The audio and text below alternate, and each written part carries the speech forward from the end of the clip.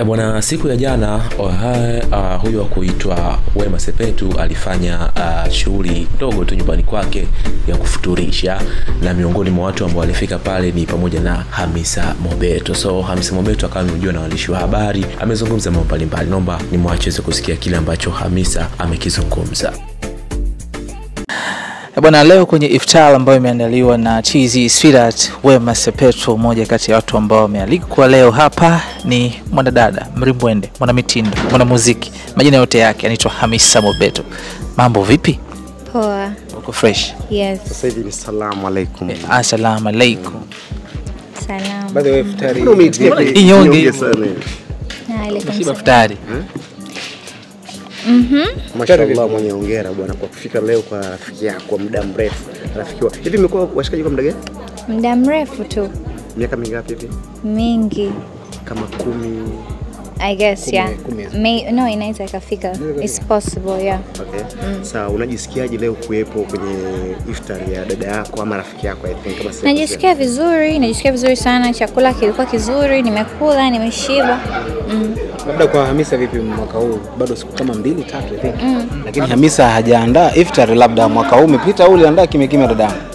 Mimi natwaga, unajua sadaka sio kikubwa sana, lakini nachojaliwa, lakini tu ni tofauti kidogo. Yeah, kila mtu ana njia zake. Yeah. mm.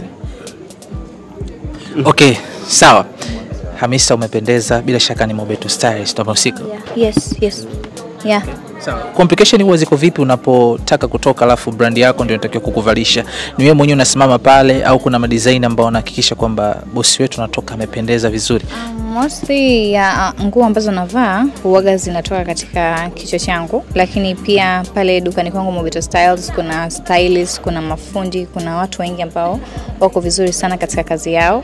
Kwa hiyo hata kama nikiwa sipo, let's say nimesafiri, natakiwa kurudi na kinahitajika kitu cha haraka, wanafanya tu vizuri. Ni, ni watu ambao wako very good katika kazi zao. Okay. Yes. Sawa. Uh, tunafahamu kama ulivyosema wewe hapo, wewe na Wema urafiki wenu ni wa muda mrefu, si ndio? Yeah. Lakini kama utagundua vizuri, baada ya juzi Wema kupost akiwa amevalishwa na Wema Sepetu eh, uh, Wema, Wema kupost amevalishwa na Mobeto Styles, imekuwa ni kama vile watu wamekuwa eh, kumbe sisi tunabanikishwa bure tu kwenye mitandao ya kijamii, inawezekanaje kitu kama hiki na hiki na hiki? Udhani kwa nini mashabiki walikuwa na walikuwa naamini kwamba nyinyi mko fresh? Kuna kipindi eh, yes Mimi kusema kweli, eh, swali hapo alikuwa nasemaje? Yaani swali ni kwamba mashabiki walikuwa mara ya kwanza kuwa na tetesi kwamba wewe na wewe Now na I get it now. I remember. Um, mimi sijui kwa kweli zilitokea wapi, lakini mimi unajua, mimi pia sio mtu wa ku posti sana nikiwa na watu. Social media zangu nyingi nadhani zimejaa tu kazi, kwa hiyo lifestyle kidogo huwa ni chache sana, na labda nikipost labda ni watoto. Kwa hiyo hata mashosti sidhani kama mnanionaga nina mashosti wengi ama na post watu wengi, lakini mtu ambaye Mwenyezi Mungu alinijalia ya ku, kuwa na, na mawasiliano mazuri na, na watu na kuwa ukaribu na watu wengi tu, lakini mimi sio mtu wa kila kitu kukiweka huko katika dunia, yani katika ulimwengu wa social media. Yes. okay, pengine unadhani kwamba ule ukaribu wa kuonekana kama vile ilivyo sasa hivi ulitokana na na levels zilikuwa ni of course Wema umemkuta kwenye game hii, si ndio? Ule mlikuwa karibu sawa. Inawezekana wewe ulikuwa rafiki yake ila Yesu rafiki yako. Inawezekana- Tunasema hivyo, yani kwamba zi- zile levels zilikuwa tofauti, ndio maana tukumwona Hamisa yupo karibu na Wema Sepetu, ila kwa sasa Hamisa level yake ni kubwa naye. No, hakuwahi kuni, kunibagua not even once. Mimi- Kubagua automatically utokeaga. No, mimi huwa ananif, mimi ananifahamu hata sianza hizi habari za soci- nini za mitandao sio za usanii, ananijua kitambo sana yani, ki, yani ananijua yani since way back huko tangia sio ndo namaliza shule na vitu kama hivyo, lakini mimi yani mimi ndo huaga sipendi sana kujichanganya yani hivyo. Kwa hiyo yani mara nyingi hata shughuli na alikuwaga shughuli nyingi sana, lakini saa ingine labda ubize, kazi, familia nakuwa nashindwa. Yes, na mimi huwaga nanijua mimi ndugu yenu huwaga naogopa sana kamera. Kwa hiyo nikiona eh, sehemu tunapo kutakuwa kuna makamera mengi nakuwa naishiwa nguvu. Okay, sawa. Yes, hata leo nilikuwa sijui kama mko hapa. Sawa. Yeah. Sawa. uh, anyway, mi, mi swali langu ni kwamba uh, anyway, ingawa tunafanya interviews na nini sio mbaya Uzuri unamchanganya. Na sio mbaya. Vipi wazee, mbona mnacheka? Ai, Ah, unamwangalia. no, yani swali langu ni kwamba kuna watu wanatamani pengine labda kufikia Hamisa Mobeto. By the way, tunaona pia unafanya biashara ya nguo, wengine wanatamani hata kufika dukani kwako, location hawaijui.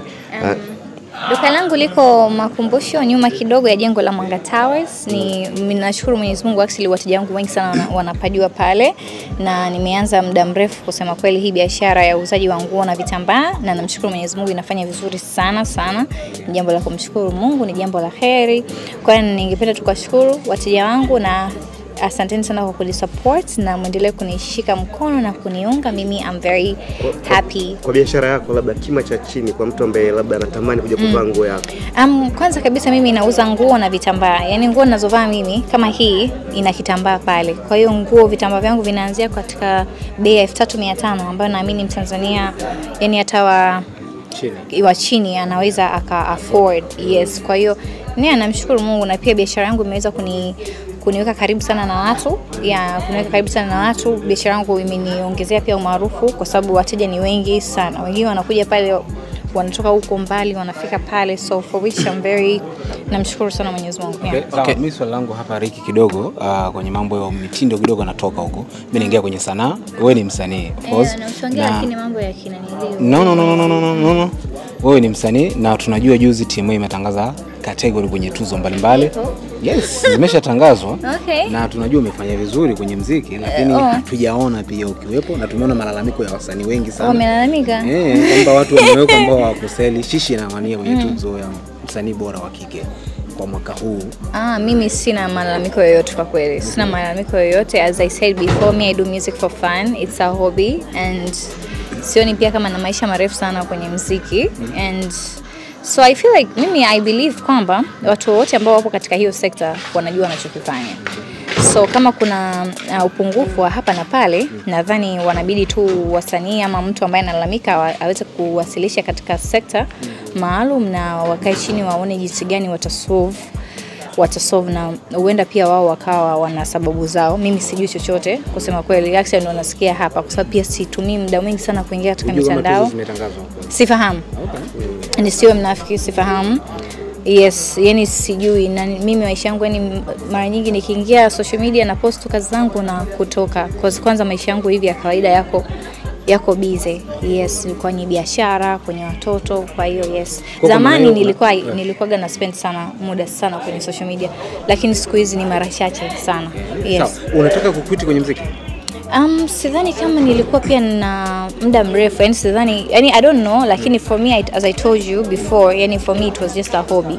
Yani nishasema hii mara nyingi sana yeah. Kuna vikwazo unakutana navyo labda mziki mpaka not really not really. Yeah not really. Yeah it's just fun. It's something that I do for fun so I don't believe kama kuna vikwazo ambavyo naweza nikavipata nikashindwa ulipanga labda nitafanya mziki kwa miaka kadhaa? yes hata sio kwa miaka kadhaa nilipanga labda nyimbo moja mbili ni enjoy kwa sababu it's something that I've always wanted to do. Yes Sa- sawa. Baada ya kuingia kwenye mziki sasa? It's fun. It's fun. I, I, I accomplish what I wanted. You understand? Unajua kila mtu katika katika um, maisha anapewa chance ya kufanya kile ambacho unajisikia kukifanya um, especially if it's a hobby and when you do it and you're happy with it then that's you. so huyo ndo hamisa unaonaje tafadhali subscribe endelea kuenjoy stori zetu nyingi zetu kupitia msasa online msasa kisasa zaidi